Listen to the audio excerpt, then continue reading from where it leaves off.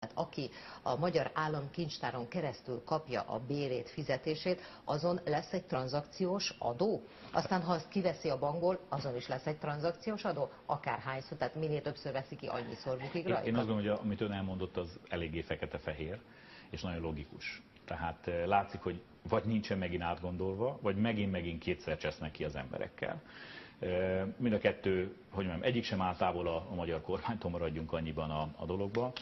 Mi próbáltuk megtudakolni, hogy akkor ennek hogy lesznek a részletei, hát erről semmit az ég egyet a világon nem lehet tudni. Egy biztos, a sor végén mindig a kisember szívja meg, már elnézést, hogy ilyen egyszerűen Hát most fogalmaz. már egyre egyszerűbben fogalmaz.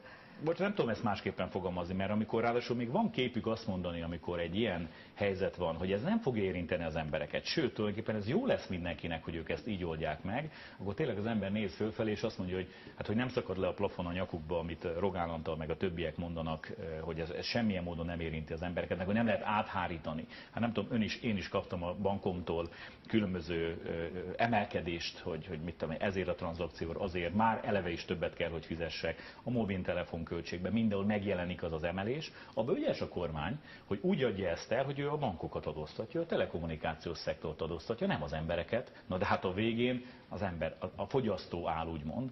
Úgyhogy látható módon ez egy trükk, amit megpróbál a kormány most már sokat letolni az emberek torkán.